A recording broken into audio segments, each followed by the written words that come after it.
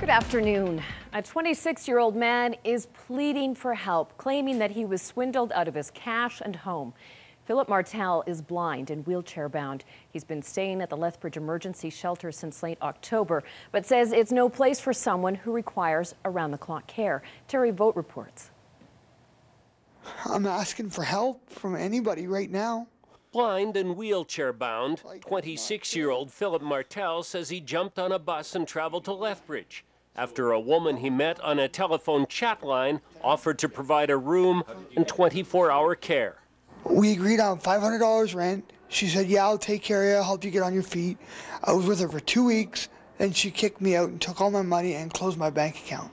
Police are investigating, but right now that's little consolation for Martel. Broken on the street, he's been staying at the Lethbridge Emergency Shelter and Resource Center. Because he moved from British Columbia, he doesn't yet have an Alberta health care card. So no matter where he turns, he seems to be running into obstacles. You got to talk to Alberta Health Services, talk to other people, you know. I can't even get out and go anywhere. I'm stuck in the shelter. Martel isn't complaining about the staff or management. He says they've been supportive, and he's grateful to have a roof, since most shelters won't accept people with special needs. At the same time, Martel says he needs personal care and help with everyday tasks like getting dressed and cutting his food. He says the shelter isn't the place for a blind person in a wheelchair. It sucks.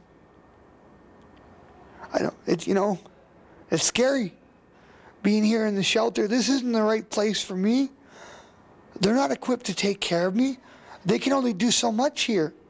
Shelter officials say there are privacy issues that prevent them from talking specifically about this case, but they want to assure us that there are several agencies and a number of people working on Philip's behalf to make sure he gets the support and care he needs.